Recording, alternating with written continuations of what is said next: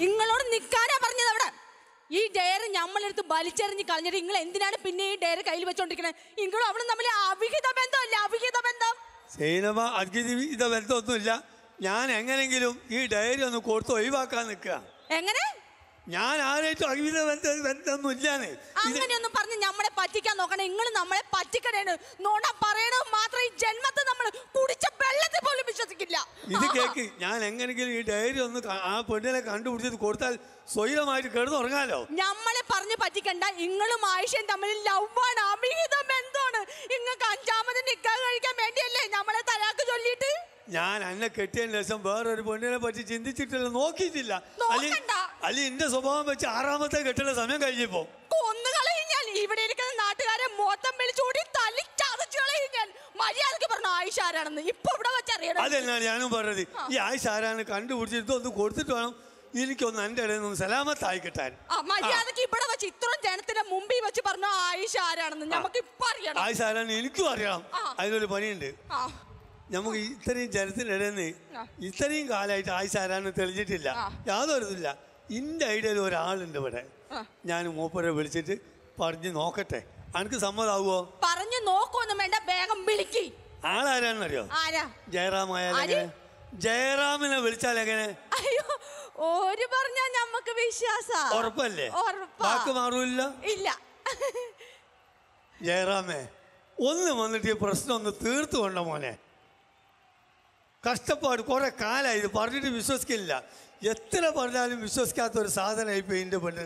നല്ലോ ആയിഷാനെ കണ്ടില്ലെങ്കിലും വേണ്ടില്ല. ജയറാമിനൊക്കെ അടുത്ത് കാണാൻ പറ്റി എന്താ മുത്തേ? ആ അതല്ല. ഇവിടെ പ്രശ്നം എന്താണെന്ന് വെച്ചാൽ ഈ മൈലാഞ്ചി കല്യാണത്തിന് വന്ന ഒരാഴ്ച ഇവിടുന്ന് മിസ്സായിക്കുന്നു അതിന്റെ പേരിൽ ഞാൻ ഇവിടെ കുറേ കാലമായി അടിയും വിളിയും കച്ചരൊക്കെ ആ ആയിഷ ആരാണെന്ന് ഒന്ന് തെളിയിക്കണം. ഞാൻ മാത്രമല്ല ഈ ജനങ്ങളും അറിഞ്ഞിട്ടില്ല കുറേ കാലമായി ഇതൊരു അത്ഭുതമായി കിടക്കാണ് അതൊന്നും പ്രശ്നം തീർത്തുകൊണ്ട് അല്ല അതെ ശരിക്കും എനിക്കും ഇത്രയും കാലം ഈ പ്രോഗ്രാം കാണുമ്പോൾ ഐഷ ആരാണെന്നുള്ളത് ഉണ്ടായിരുന്നു ആ. അതൊക്കെ ഇപ്പൊ ശരിയാക്കി കൊടുക്കാം. കേട്ടല്ലോ? ഒരു മിനിറ്റ്. ആ ഇതാ. ഇതിനായിട്ടാണോ ഓളിരിക്കണത് ആ. കാണിക്കാം. ആ. പ്രസേട്ടെ. ഓ. ഏ? ആ.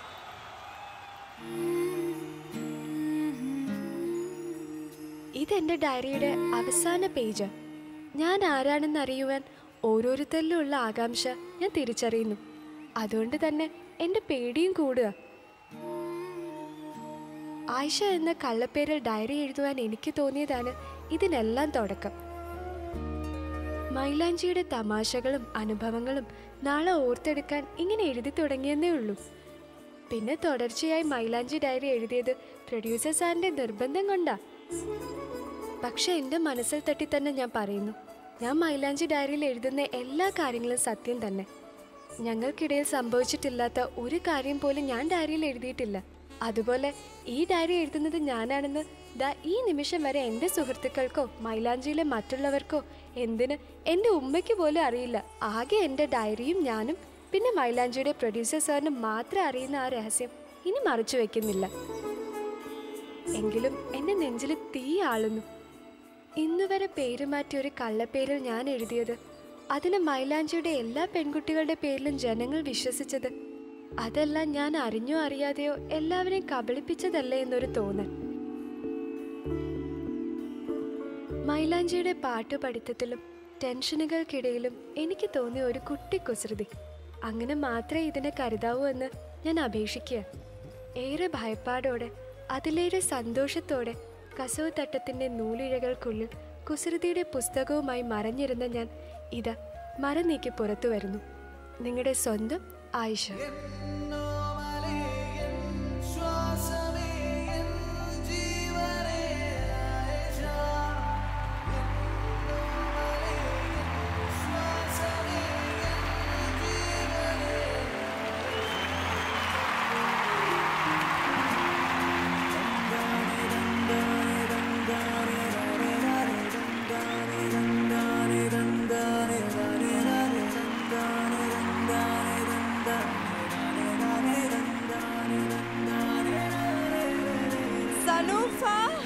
ഞാൻ എന്താ വിളിക്കണ്ടേ? സനൂഫ എന്ന് വിളിക്കണോ? ആയിഷ എന്ന് വിളിക്കണോ?